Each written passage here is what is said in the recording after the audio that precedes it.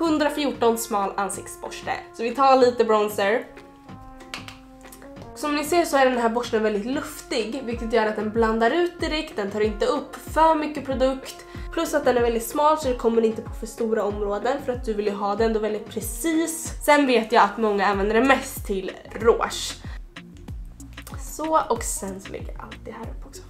Om man inte vill använda den här till att eh, lägga eh, en puder-highlighter så kan man givetvis använda den här. Och sen göra lite så här med den, att man plattar till den.